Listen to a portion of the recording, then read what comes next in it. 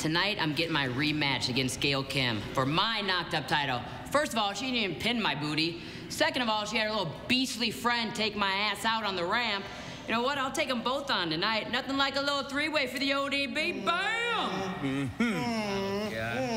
one delightful broad, there you are. And it appears you're smuggling two jack-o'-lanterns under there. Francois, I believe I've deduced what ODB stands for overly developed bosoms. Hmm. ha! But the true mystery is this we know of your relationship with Eric Young and his friend Joseph Pancake, but what do you know about their association with the monster Abyss? Did he lay your ass out at BFG? Ha ha!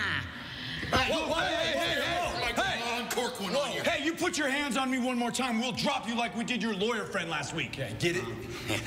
Listen, Joseph Park, he can't be here tonight, but look, it's Halloween, and everyone knows it's a monster's favorite holiday. Who knows what could happen? Maybe you get left laying again. I got something special for you guys later.